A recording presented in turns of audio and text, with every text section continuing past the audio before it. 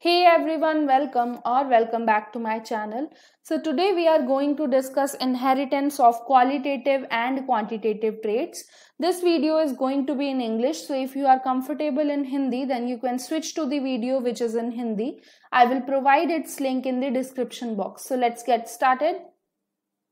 So first of all, we are going to discuss what is qualitative inheritance. So inheritance of qualitative traits or Mendelian traits refers to qualitative inheritance. This shows discontinuous variation in the F2 progeny. So there would be distinct phenotypic classes in the F2 progeny. This type of inheritance is controlled by a single gene having two alleles. So the allelic pairs would exhibit dominance. That is, one of the allele would be dominant over the other. There could be more than one gene involved, and those genes could show interaction, as in the case of epistasis.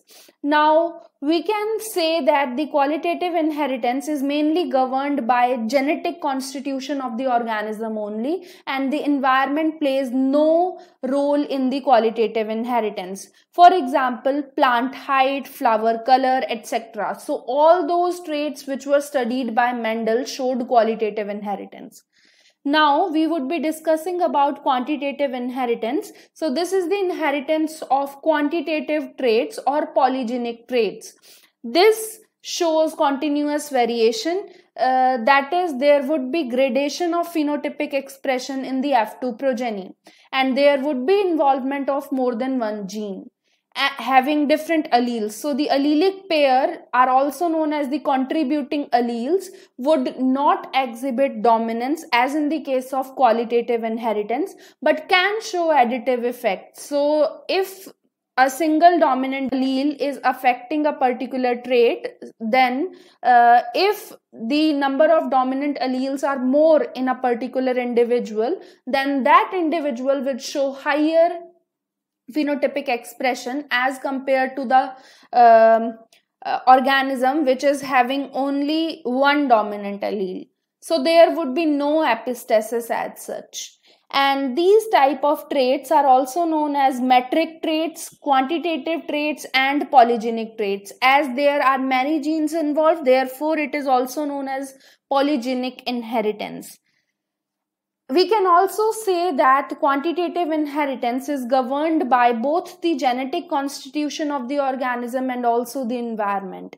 For example, body weight, height, egg or milk production. All these traits show quantitative inheritance. So the first and major uh, example of quantitative inheritance was shown by Nilsson-Ehle's experiment which was performed to know the kernel color in wheat and what, is, what was the gradation of the kernel color which was seen in wheat.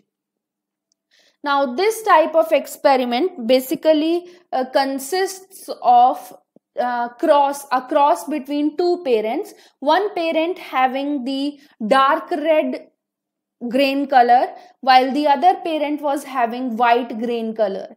When they the scientists crossed these two plants they showed that in the f1 progeny there was intermediate red coloration in the kernel color of wheat. After selfing the f2 progeny showed can be categorized into seven distinct classes having different gradation of red coloration. And their ratio was 1 is to 6 is to 15 is to 20 is to 15 is to 6 is to 1. So this is the ratio that we uh, get in the case of quantitative inheritance. So this ratio is very important for you all to learn and uh, there are different contributing alleles. So if the phenotypic appearance of the kernel, uh, wheat kernel is dark red, then there would be uh, six contributing alleles. So the um, individual should have six dominant alleles for the dark red coloration to appear.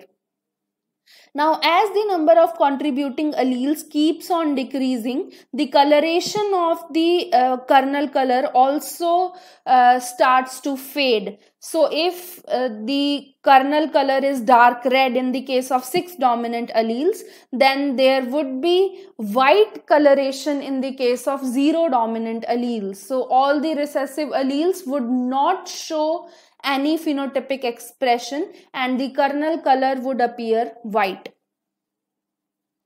It can be shown by the help of this graph. So here you can see there are seven distinct classes to which wheat kernel color can um, appear. So here you can see that there is a bell shaped curve. This is the characteristic feature of quantitative inheritance. So in the case of quantitative inheritance, there would always be a bell-shaped curve due to different gradation of phenotypic expression in the F2 progeny. Now, what are the other examples of quantitative inheritance? So, skin color in humans is also a very good example of quantitative inheritance. It was studied by Davenport and it he determined that the skin color in humans is controlled by at least three genes having two alleles each.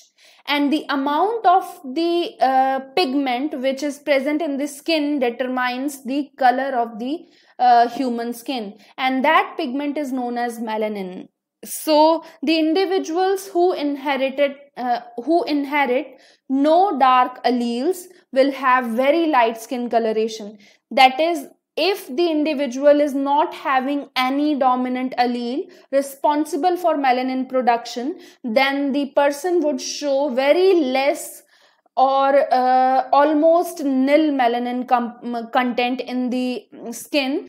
Now, those individuals that inherit only dark alleles will have very dark skin color, and the individuals who inherit different combination of light and dark alleles, that is dominant and recessive alleles, will have different phenotypic classes having various various skin shades. So this was another example of quantitative inheritance. Another important example is eye color in humans. So it was shown that uh, human eye color is determined or influenced by up to 16 different genes having two alleles each and it is also determined by the same pigment, the same skin pigment that is melanin. So the black and dark brown eyes are due to more melanin component in the iris of the skin as compared to green or hazel eyes.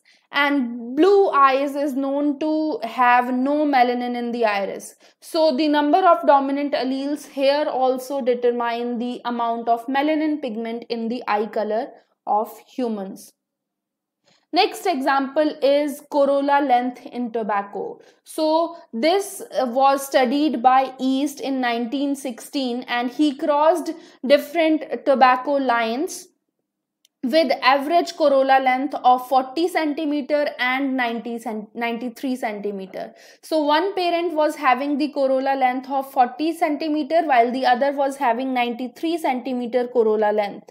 In the f1 progeny he showed that the corolla length was almost intermediate between the parents that was 63 centimeters after selfing in the F2 generation, he found out that there were wide variation uh, in the corolla length uh, in the F2 progeny. And this these all these results indicated that there are five or more genes which are involved in the expression of corolla length. So all these examples belongs to quantitative inheritance.